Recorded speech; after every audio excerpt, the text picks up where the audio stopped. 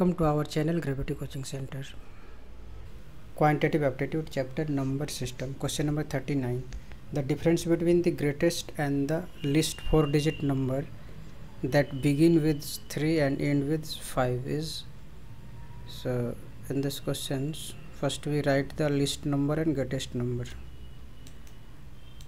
Least number. And the greatest number greatest number.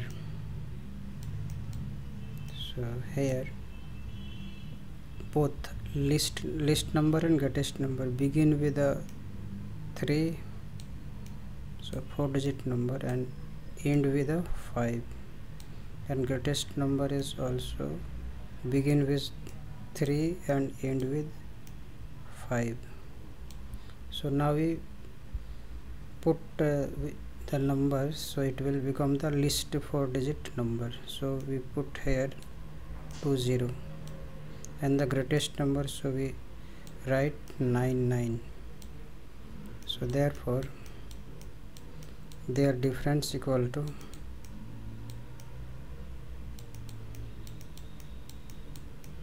equal to 3995 minus 3005 so its difference is uh, 990 which is the required answer. Answer.